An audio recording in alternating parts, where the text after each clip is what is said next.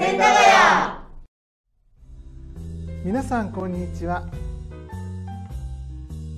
千駄ヶ谷日本語教育研究所グループでは新しいオンライン学習コースを始めました。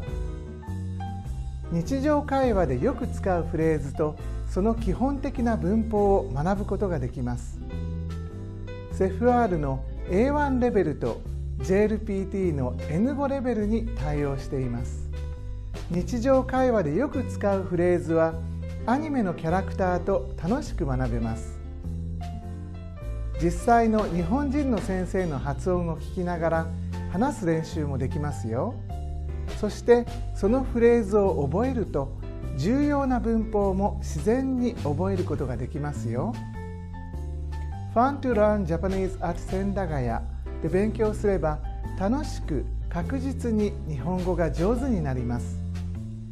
私たちと一緒に今日から日本語を勉強しませんか？ぜひユーデミーに登録しましょう。